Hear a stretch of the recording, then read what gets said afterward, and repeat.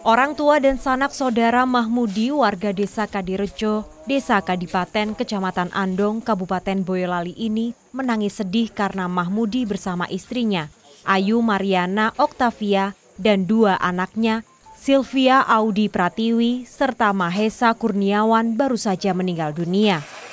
Diduga keempatnya meninggal karena keracunan gas buang genset di rumah kontrakannya di Pulau Gadung, Jakarta Timur. Sebelumnya Mahmudi menghidupkan genset di dalam rumah karena listrik PLN mati akibat bencana banjir. Keempat jenazah korban ditemukan warga dalam satu kamar. Itu entah capek entah apa kita juga nggak tahu kan.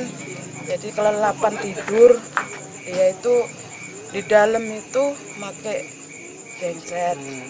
Nah, saking dianya kelelapan tidur sampai nggak tahu.